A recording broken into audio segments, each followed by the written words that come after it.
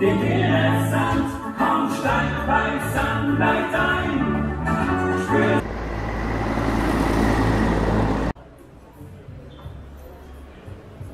Sunlight i67S. Ein voll integrierter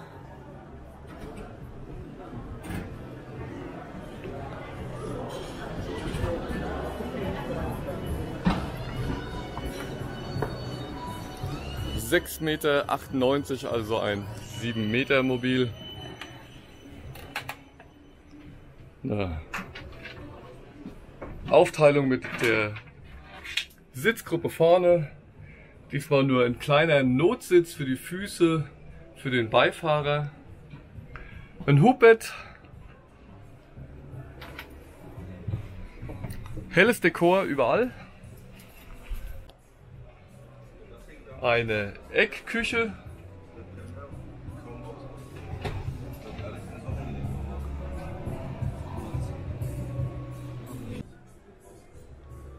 Das Bad ist auf der anderen Seite und hinten haben wir ein Längsbett auf 7 Meter. Klar, das geht dann zu Lasten von Schränken. Es ist wieder möglich, ein Herd einzubauen und natürlich den Kühlschrank. Und wenn ich sage, es geht zu Lasten von Schränken, ihr habt dann die Schränke quasi unter den Betten. Also ein Teil des Bettes ist natürlich unterbaut durch die Heckgarage, aber einen richtigen Kleiderschrank findet ihr hier nicht. Das Ganze wieder im Weitwinkelflug. Und ihr seht schon, hier gibt es ein paar Haken und Ösen im Sinne des Wortes. Ich bin eben schon gestolpert. Ähm, vorne aus der Fahrt gibt es eine Stufe, ihr seht das schon. Und äh, nach hinten gibt es noch eine Stufe, also man muss da schon mal ein bisschen schauen. Tolle Sache ganz zum Schluss. Neben der Eingangstür gibt es mal eine Klappe für die Schuhe. Leute, das müsste es viel öfters geben.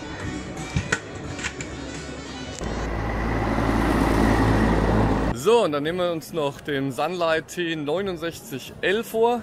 Das ist das neue Mobil. Sie haben ja ein Jubiläum und dementsprechend ein schwarzes Dekor. Also sieht ein bisschen anders aus, sieht stylisch aus.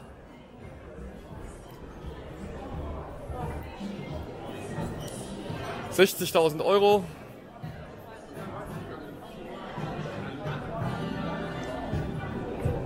Große Heckgarage.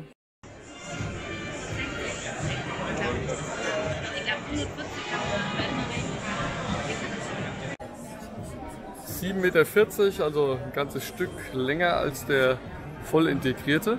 Na, gehen wir mal rein. Eine Sitzgruppe, die den Namen auch verdient. Der Beifahrer hat noch einen Notsitz, der natürlich dann auch im Rahmen dieser Sitzgruppe für Gäste sorgen kann. Kleinen Moment bitte.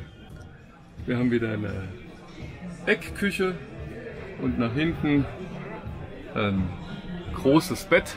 Ja, hier haben wir natürlich jetzt auch ein ganzes Stück mehr Länge. Auch hier die Möglichkeit, einen Backofen, eine Küche, helle Dekore. Und wie ihr schon seht, ich stehe jetzt vorne im vorderen Bereich des Wohnmobils. Über mir ist ein Hubbett und äh, ja, das hat natürlich ein bisschen ähm, weniger Kopffreiheit zur Folge. Aber man muss das Hubbett ja nicht mitnehmen. Also wenn er zu zweit fährt und nicht unbedingt die Enkelvilla mitnehmen will, der äh, kauft es einfach ohne Hubbett. Ansonsten lässt sich das natürlich dann auch mit Hubbett und mehr Schlafplätzen nutzen. Schön ist, ich habe hier wieder die Möglichkeit abzutrennen. Dementsprechend habe ich eine Zweiraumwohnung. Gehen wir mal hinter ins Bad und ins Schlafzimmer. Es ist ein Queensbett. Dieses Queensbett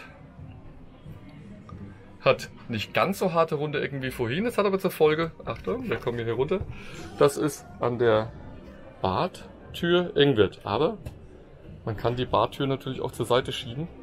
Dann wird das Ganze etwas geräumiger. Auf der Toilettenseite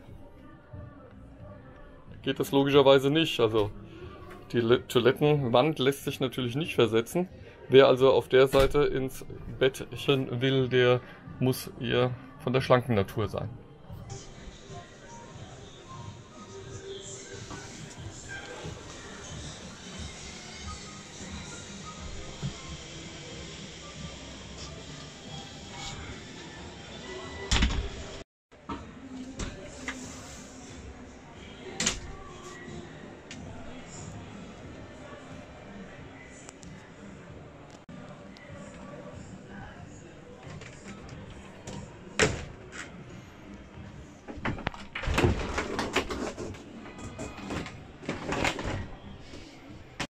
In Summe dann das Bad auch nicht so geräumig. Was mir jetzt hier nicht so gut gefällt, ist, dass ähm, man das Bad nur mit einem Vorhang nachher komplett vom Schlafzimmer nochmal trennen kann.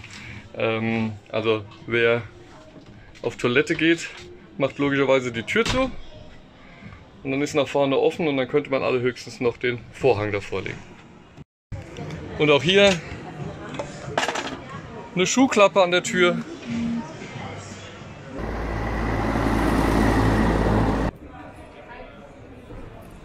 So, da ist er, der neue Contura 760F. Ähm, F wahrscheinlich für Fiat. Seid nicht allzu enttäuscht. Alle, die schon Bilder gesehen hatten auf Daimler-Basis, ähm, die warten natürlich drauf, dass er als Daimler kommt, aber er steht hier auf der Messe nur als Fiat-Fahrzeug, also auf der Fiat-Basis. Aber ich habe mir sagen lassen, er ist für beide Typen entwickelt worden und dementsprechend äh, stirbt die Hoffnung zuletzt, dass man den auch noch auf Daimler sieht. Wenn die Herren mich mal da reinlassen, Dankeschön. So, dann gucken wir uns den mal an. Er ist ja groß angekündigt worden und ähm, ich muss ehrlich sagen, erster Blick, ich war noch nie drin, das sieht doch schon ganz nett aus. Also hell Licht, die dunklen Dekore der Schränke, passen hervorragend zu den Hellen der Sitzen oder der Arbeitsfläche an der Küche. Auch hier wieder eine Face-to-Face-Sitzgruppe. Das war ja angekündigt gewesen. Den Tisch kann man in der Mitte auseinanderklappen und ähm, die Küche, die gliedert sich direkt nahtlos an. Also wirklich eine feine Lösung und sehr attraktiv. Und nach hinten haben wir dann logischerweise das große Längsbett bei 7,60 Meter ist es ja kein Problem, das Ganze zu integrieren. Und da gehen wir auch mal hin.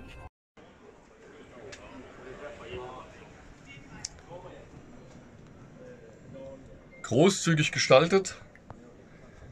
Ihr habt unter den Stufen nochmal die Möglichkeit, Kleinigkeiten zu verstauen, Schuhe etc.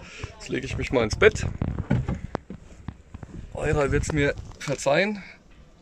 Und ich habe schon wieder Gäste hier.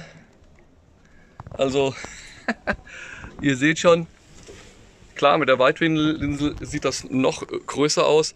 Die Dusche, auch hier wirklich großzügig. Wir haben die Möglichkeit, die Tür der Toilette als Raumtrenner wieder zu benutzen. Und dann schauen wir mal in die Toilette und ins Bad. Auch hier die dunklen Dekore. Sieht spannend aus. Ich habe noch einen kleinen Schrank, aber wirklich nur einen kleinen Schrank neben dem Bad. Hier hat man mehr Wert gelegt auf den Wohnraum und das gefällt mir eigentlich sehr gut. Das Schlafzimmer und auch das Bad sind jetzt nicht so üppig. Und jetzt drehen wir das Ganze mal um. Ich zeige euch das Ganze aus der Richtung. Junger Mann, Vorsicht. Ähm, also das ist wirklich ein großer Wohnraum hier vorne. Hier kann man bequem auch mit ein paar Freunden klönen oder auf Fahrer- und Beifahrersitz sitzen und die Füße hochlegen. Gefällt mir sehr gut. Der Fernseher lässt sich rausnehmen. Ansonsten bringt er ähm, wahrscheinlich immer dieses Feuer, das hier läuft. Nett, echt nett. Bleibt natürlich die Frage, kommt er auf Mercedes-Basis oder war das im Endeffekt nur ein Produktcheck? Ähm, auf den Bildern, die ja schon äh, veröffentlicht worden sind, die zum Teil im Internet auch herumgeisterten, war er ja zu sehen als Mercedes-Basis und da haben schon viele gejubelt.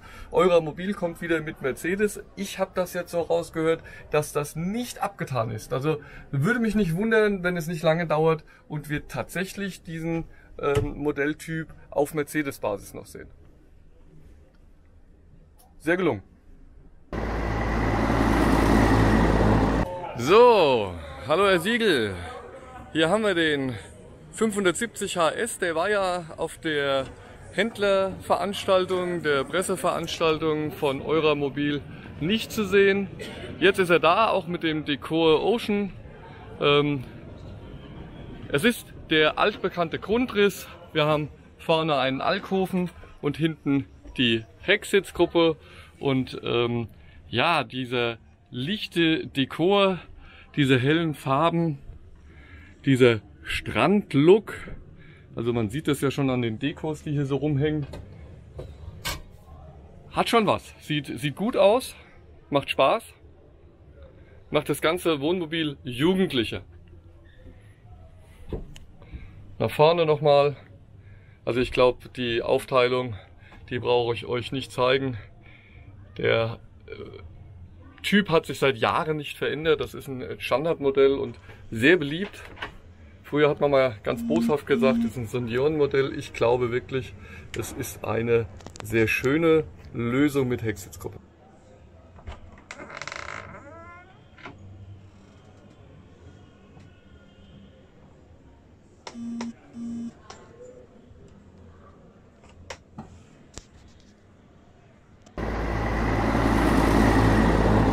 So, jetzt nochmal zu den vollintegrierten. Wir haben den 695 QB, also Queensbed.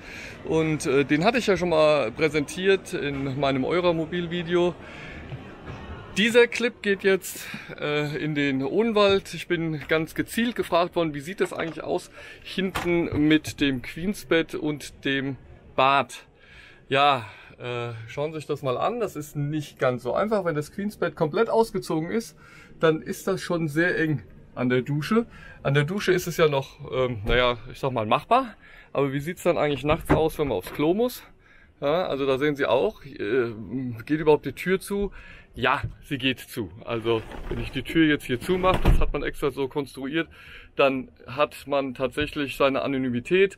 Man kann sein Geschäft machen, ohne dass der Partner einem dabei zugucken muss. Also insofern alles im grünen Bereich.